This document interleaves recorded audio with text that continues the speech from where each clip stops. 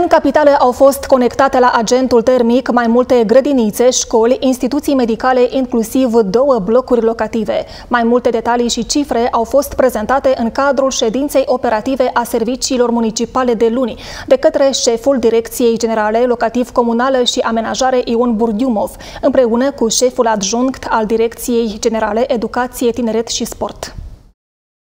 Ce ține de grădinițe, uh, avem Până astăzi conectate 117 din 133 de grădinițe.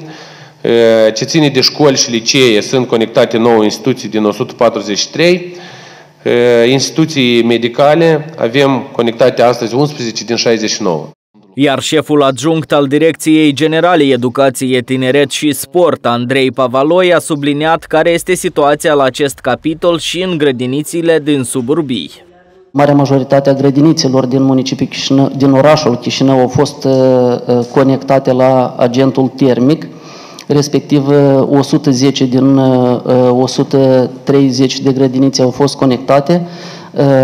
Mai puține grădinițe au fost conectate în suburbiile municipiului Chișinău, din cele 27 de instituții preșcolare, doar 12 la moment sunt conectate. Vreau să menționez faptul că Eh, primarii din suburbiile municipiului Chișinău sunt eh, responsabili de a eh, face acest lucru și pe această cale vreau să îi rog să conecteze la agentul termic instituțiile din subordinea lor. În ceea ce privește celelalte instituții de învățământ municipale, Pavaloi a precizat că doar patru au fost conectate, urmând ca restul să fie racordate la agentul termic după vacanța de toamnă. Amintim că sezonul de încălzire 2024-2025